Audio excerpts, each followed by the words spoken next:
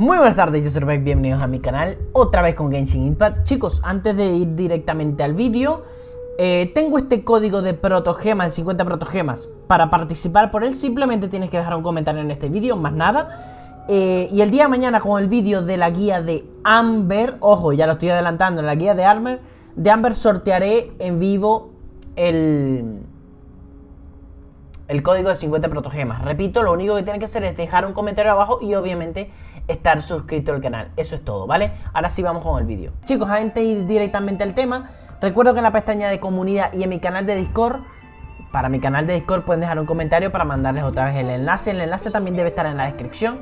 Pero en ambos comuniqué que el día 16 de diciembre va a salir todo World Fantasy y yo por supuesto voy a hacer directos del juego para probar qué tal y todo esto como siempre, ¿vale? Subí uno de mis vídeos hace poco diciendo los ARPG MMO que estaba esperando y este es uno de ellos. Obviamente es una beta, pero va a ser abierta para todo el mundo, totalmente gratuita, obviamente. ¿Vale? Rui, ¿qué nos vas a hablar el día de hoy? Y vamos a hablar de eso, mi opinión de los banners, Rui, pero ya ha pasado un par de días de esto. Bueno, pero nunca es tarde para opinar sobre esto, ¿vale? Y voy a dar mi, mi opinión en general de lo que me parece explico? Eh, em, les soy sincero y obviamente como siempre voy a dar mi nota a ver qué tal de los banners. Mm, la verdad es que me quedé decepcionado, muchísimo porque yo esperaba que los personajes de 3 estrellas fueran distintos. Ese de 3 estrellas, de 4 estrellas fueran distintos. Porque yo lo que opinaba con que hubiera dos rerun, a mí me parecía perfecto. Eh, el pool de personajes de 5 estrellas va a ir aumentando y por lo tanto para no ir reruns tan lentos van a, van a tener que hacer esto continuamente, de hecho muchos más, ¿vale? Eso lo que permite también, obviamente, es que veremos después un segundo rerun de Son Lee, de, de otros personajes antiguos como Venti o algo por el estilo, lo cual está bastante bien, ¿vale? Ahora bien, ¿qué es lo que no me ha gustado? Que se repitieran los tres estrellas, los cuatro estrellas, sinceramente. Si hubieran eh, distintos, serían distintos cuatro estrellas, yo siempre le he dicho a la gente, para la mayoría de las personas que somos free to play o pequeños gastadores, nosotros nos tenemos que enfocar básicamente en los personajes de 4 estrellas cuando le hacemos un banner. Es así. O sea, porque no vamos a poder tener todos los personajes de 5 estrellas. Por lo tanto, eh, de repente si lanzar una multi que otra, pues es algo que mm, sí lo podríamos pensar. O sea, de, donde debemos de decir hombre, este es un buen banner o no. Y normalmente la mayoría de mis calificaciones respecto a banners, banners va referido en base a los personajes de 4 estrellas. De hecho, la mayoría de la ponderación que yo le doy, la nota que yo le doy, va sobre todo en referencia a los personajes de 4 estrellas. Vamos a hablar un poquito de ello, ¿vale? Voy a empezar primero, sobre todo con las armas.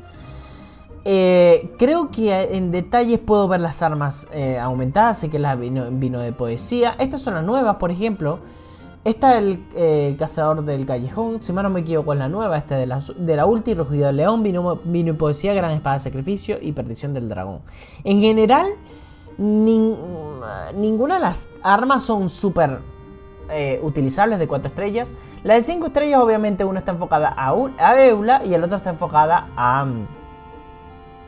a Albedo. Ahora bien, ¿estas armas son importantísimas? No, de hecho, Albedo tiene un arma de tres estrellas que es increíblemente buena, o sea, no deberíamos lanzar este banner de armas, porque de por sí, partiendo de la base que nunca recomiendo lanzar por banner de armas, eh, yo creo que ese arma de 3 estrellas es bastante buena comparado para usar por esta, sinceramente. O sea, para gastar deseos en esto no vale la pena.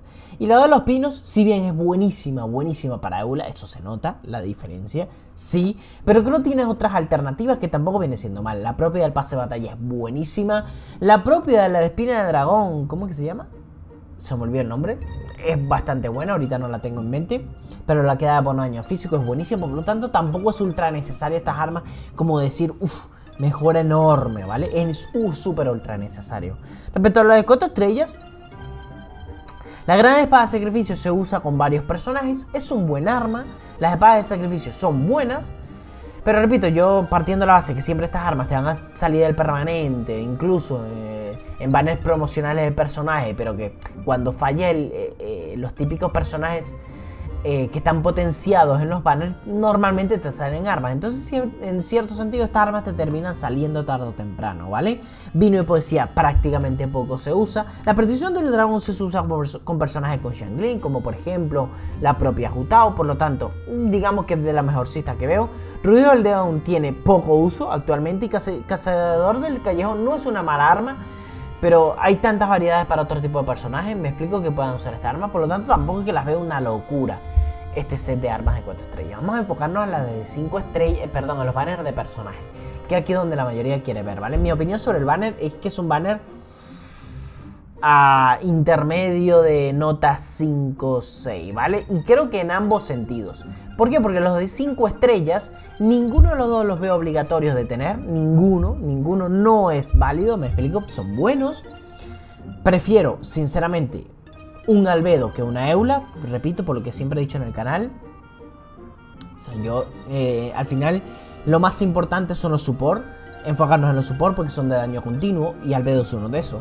Por lo tanto, en cierto sentido, a mí Albedo me gusta muchísimo más porque tiene, digamos, mucha versatilidad en cuanto a equipo. En cambio, Eula eh, hay que ser un team enfocado específicamente a ella. De repente, una sala de abismo no va a potenciar el daño físico. Entonces, en ese sentido, es como muy para los de especie puro y duro, yo tampoco es que digo, uff, este personaje es necesario. Ya saben mi opinión, ¿vale? Por lo tanto, si tuviera que elegir por los dos, cualquiera de los dos, yo quedaría con Albedo. Yo particularmente no voy a lanzar, ¿vale? Voy a esquipear. Respecto a los personajes de 4 estrellas, pues eh, tenemos una Noel que la tenemos desde el principio, yo la tengo C6, todo el mundo la debe tener. Es un personaje que es muy bueno en early, porque hace de todo, sobre todo mientras más constelaciones tiene. Pero después creo que es algo floja en todos los aspectos. O sea, hace de todo, pero no tan bueno en todo. ¿Vale? Es como un tier B en todo.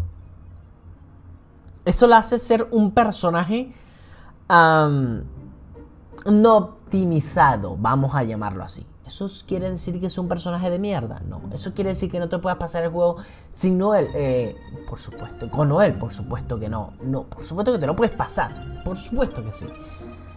Em, pero bueno, hay muchos amantes de Noel. Ahora, ahora bien, no es de los personajes más usados del juego. Tenemos una Rosaria que yo siempre he dicho voy a mantenerme con mi idea. Si te gusta Kaella, creo que el trabajo de Rosaria puede ser sustituido por Kaella casi todo lo que hace, ¿vale? Si no te gusta, si odias a ella, ya sea por lore, personalidad, lo que sea, habilidades, lo que sea, Rosaria es bastante buena y te va a servir. Uno de los dos lo tienes que usar, pero repito, partiendo de la base que Kaella es totalmente free to play, o free, pues de gratis, pues sinceramente tampoco es obligatorio lanzar Rosaria, sin quitarle el mérito de que sea un buen personaje, sobre todo C2. Y tenemos a Bene, que es el mejor personaje del juego o uno de los mejores personajes del juego. Sin duda alguna de 4 estrellas es el mejor personaje de 4 estrellas, pero por supuesto. Y este es un personaje que deberíamos lanzar. Si no tenemos un, C, un Bennett C1, lancen por este banner un par de multis, una multi o lo que sea. Porque les vale la pena, sobre todo para los nuevos. ¿Vale? Mi nota final sobre cualquiera de los dos banners ponderando un poquito más por el de Albedo, peculiarmente por lo que he dicho de que Albedo lo considero mejor, si tuviera que lanzar por uno de los dos, sin duda alguna lanzaría por este y una nota le pongo un 6. 6 y eso gracias a Bene. De lo contrario, no creo que sea un banner que, wow, sea una maravilla, la maravilla del año. Sinceramente, esa es mi opinión. Espero que pasen un lindo fin de semana. Chao, chao.